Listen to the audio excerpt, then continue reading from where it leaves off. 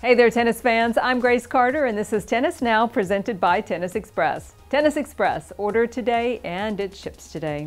The WTA is rebranding. They have launched a new logo, redefined tournament categories, and unveiled a new ad campaign.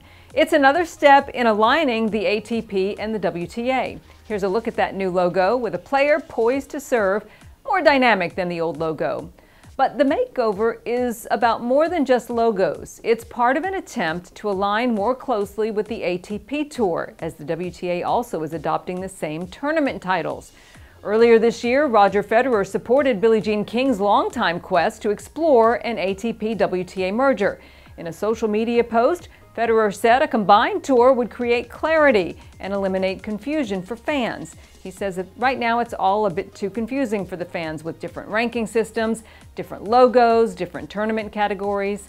The new changes have eliminated premier and mandatory tournament titles and now will share the same tournament tier system as the ATP. Starting in January, WTA events will now be categorized as WTA 1000 which incorporates the former Premier Mandatory and Premier 5 tournaments, WTA 500, which were formerly Premier 700 events, WTA 250, formerly called International Tournaments, and WTA 125, which rebrands the previous 125K series.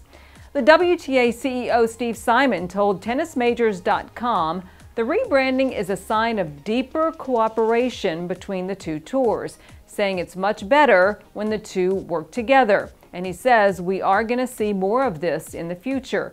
If the tours eventually unify, they could benefit from a shared schedule, not just with the four Grand Slams, but also the very popular 1,000 level tournaments like Indian Wells, Miami, Madrid, Rome, Canada, just a few of those, very popular. But is true unity the goal? Steve Simon admits to many challenges, but says it is the right thing to do. And if you think about it, a merger could make for a much better TV product with top men and women at the same events. And that's especially important now as tournaments play either without fans or with reduced crowd capacity. So, do you like the idea of a merger or would you like the two to stay separate? Let us know in the comment section below and we'll see you next time.